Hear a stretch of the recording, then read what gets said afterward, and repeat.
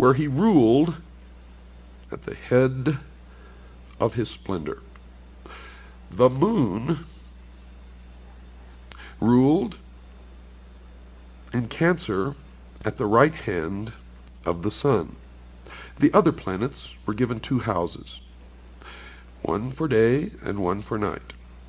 And since the zodiac divided the sky into 12 equal portions, each of these houses was also equal, comprising 30 degrees, or one-twelfth of the 360-degree circle. And the houses and signs of the zodiac were as follows. Aries was the ram, or lamb of God. Taurus, the bull, the golden calf.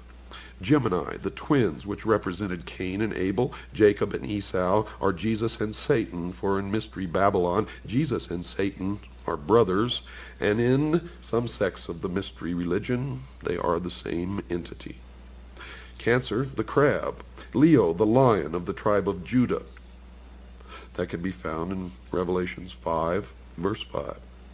Virgo, the virgin, spring birth of God's son, or Mary. Mary or Marie means pure, thus Mary, the Virgin, the Mother of God, when God is reborn or born in the spring. And that is where the mother holding the child, Isis with the child, Horus, and all through the history of the world, you will find a virgin holding a child in every culture, every language, in every continent of this earth. Libra, the scales, Scorpio, the scorpion, the backbiting traitor, Judas. Sagittarius, the archer. Capricorn, the sea goat, or the goat of Mendes. Aquarius, man with the water pitcher. Pisces, the two fish. The age that we are leaving at this point in time is the age of Pisces. And according to the mystery religion, we are entering into the age of Aquarius very soon in our future. And to them this has great meaning, for it means the dawn of the new age, the age of the illumined man.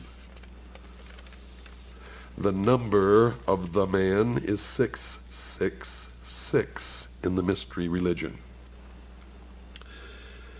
Today, we have expressions when someone dies. We say things like they passed, or they passed on, or they passed away.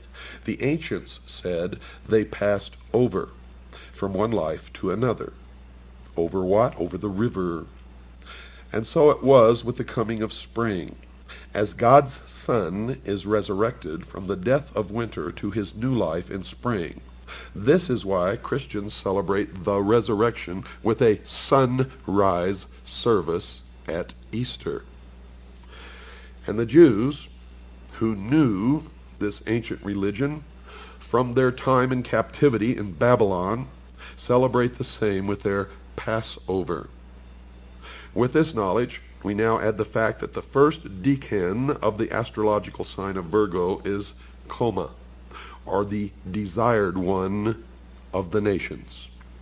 This was pictured by the ancient astrologers as a virgin girl holding a newborn babe. Hence our Madonna and Child motif. So in the spring, our Virgo, God's Son is born of a virgin. Incidentally, the astrological symbol for Virgo is the letter M, or Marie, which means pure, hence Mary, the pure virgin. And all through every culture you will find other representations by other names of the Virgin Mother with the child. Isis with the child. Horus, born of a magical intercourse when Isis changes into a bird and flutters over the dead. Osiris, Osiris representing the sun, Isis representing the moon. I will tell you the meaning of the child Horus other than the sun in the morning, probably on another episode of the Hour of the Time. Now, we belong to one another. According to the mystery school, we are part of God's creation. We are part of a great fraternity of man, according to them. We are creation's voice to sing praise to God as we gather in the morning. the morning, folks, to pray. The very time of day recalls our creation and our new creation in Christ. During the gathering time, reflect on this mystery. Using the silence, the sounds of morning, the Psalms and other scriptures, be aware that the rising sun is the image of Christ, our sun and source of life, and that is taken right out of a Protestant church's leaflet calling for the congregation together for the Easter sunrise service. Next we read at 1 Peter chapter 5 verse 4 that God's son is the chief shepherd. This word chief is very important for at 1 Peter chapter 2 verse 6 and again at Ephesians chapter 2 verse 20 God's son is called the chief cornerstone. Now, in our research into the mystery schools, we find that the word in Greek for chief cornerstone simply meant the peak of a pyramid. The peak of a pyramid. The corner foundation stone or peak of the pyramid. The prefix acro, or topmost, was added by the Jews to the already existing Greek adjective goniaios, or at the corner. In that way, the translators of Isaiah rendered the Hebrew word for corner, pina, Isai, 28:16, describing the stone which was a sure foundation and which probably had reference to the future Messiah. Well understood by the Christian writers was that of an important stone which was both acro, a peak, and a goniaios, a cornerstone, but there are four or more corners to a building, and a stone at a corner cannot be uniquely significant. Although you will find in Freemasonry the ceremony of laying a cornerstone for every building that is built, and you look at all the buildings in Washington, D.C., you will see a cornerstone with the Masonic symbols and Masonic date of the mystery schools of the calendar of 6,000 years. Well, we found that we don't believe that it can be significant unless the stone be at the apex apex of a pyramid where all corners meet and bond together and that is the secret of the truncated pyramid missing the capstone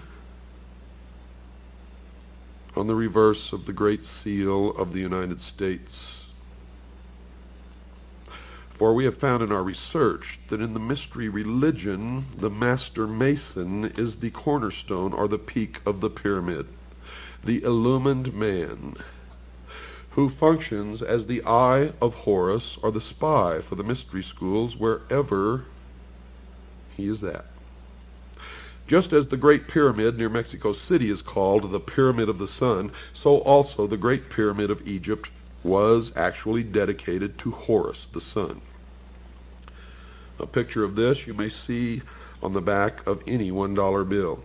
Above the pyramid, folks, is the eye, the sun, the eye of Horus, the Son of God. The New Testament tells us three different times that God's Son was taught by and learned all things from the Father. He was the pupil. We are told at Matthew chapter 14, verse 17 and 19, that God's Son tends to his people's needs with two fishes. The two fishes being the astrological sign all astrologers know as Pisces. Thus we have had for almost 2,000 years God's Son ruling in his kingdom or sign of Pisces, the two fishes.